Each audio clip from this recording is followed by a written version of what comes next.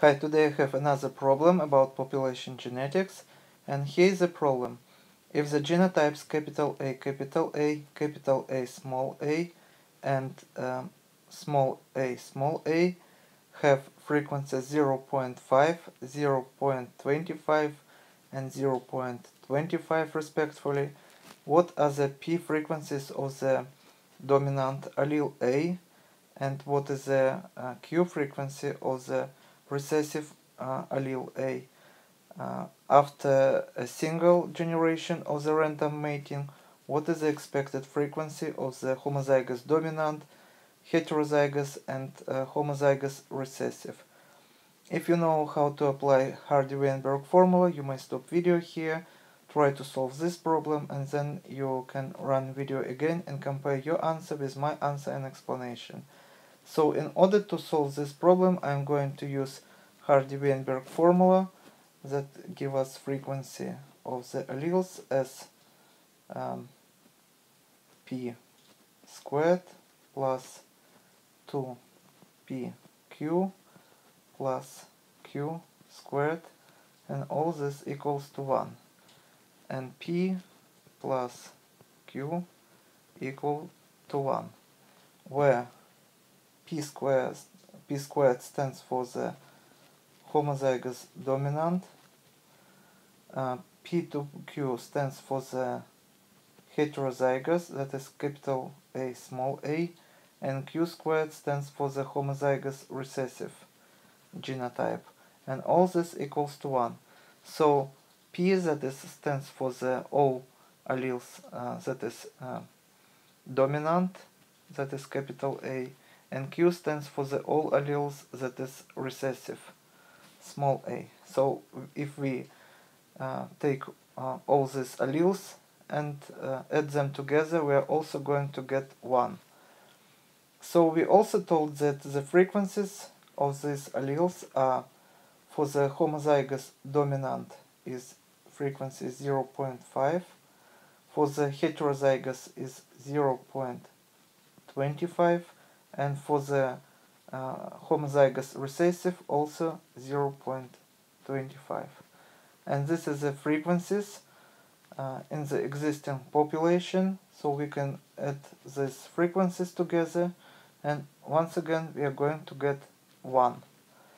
So uh, how we are going to approach this problem in order to solve um, this problem and answer the first question we have to find frequencies of P and Q in this population and as you see here uh, heterozygous consists of the uh, dominant allele A and uh, one uh, recessive allele A.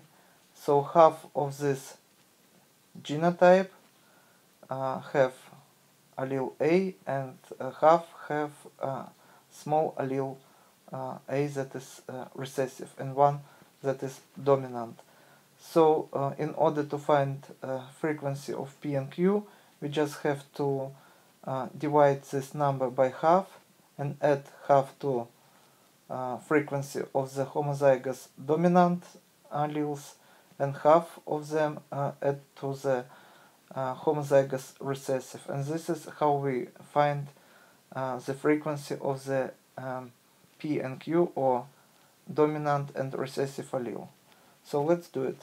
So 0 0.5 we add 0 0.125 that is half of the 0.25 and the answer here would be 0.625 and this is frequency of the P allele or we also can say that this is frequency of the dominant allele A.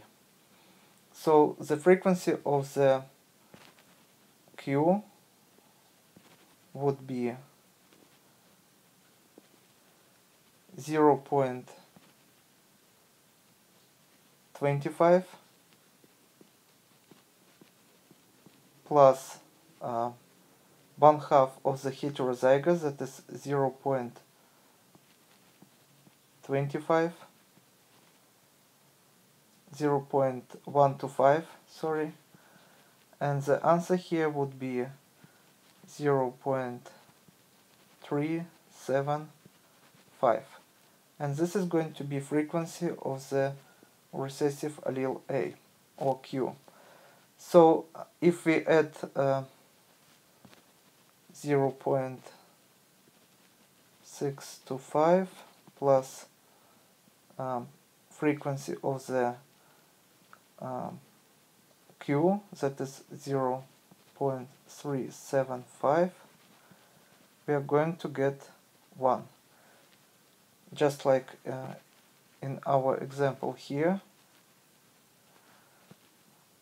And this part of the formula so uh, now we can solve the second part of our problem and answer the second question so after a single generation of random mating, what is the expected frequency of the homozygous dominant, heterozygous and uh, homozygous recessive?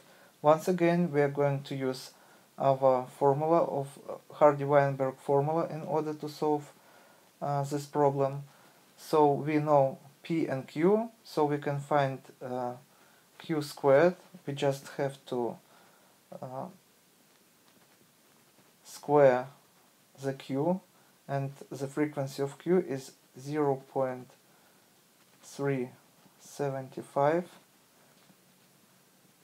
and the answer here would be 0 0.14 and now we also can find homozygous dominant in this uh, F1 generation. So P squared would be equal to uh, number p also squared. So this is going to be 0 0.625 we can square it or just uh, we can uh, multiply by itself so we are going to get here 0 0.39 and now when we know uh, frequency of the homozygous dominant, frequency of the homozygous recessive. We also can find frequency of the heterozygous. So uh, heterozygous frequency would be, so this is going to be 2 PQ that equals to, we have a number of the P that is uh, 2 multiplied by 0.625 and multiplied by number q that is 0.375 and the answer here would be 0.47 and this is would be frequency of the heterozygous. So this is going to be homozygous recessive. This is frequency of the homozygous dominant. And this is frequency of the heterozygous. So this is uh, frequency in the new population. And as you see this is different from what we have in the parent uh, generation so compare uh, these frequencies with uh, new frequencies that we got and that tell us that uh, this um, population are not in uh, in the Hardy-Weinberg equilibrium, probably because there is uh, some gene flow, or there is non-random mating, or there can be some other reasons. So we solved our problem, we answered two questions, and this is the answer for the second question. There's going to be new frequencies. Here is the frequency of the parent population, here is the frequency of the F1 population. And if you add all these numbers, once again you are going to get 1. So our answer is correct. Um, that's all for today. Thank you for your attention. Please subscribe to my new videos that I post almost every day. Write comments, thumbs up if you like this video. Goodbye.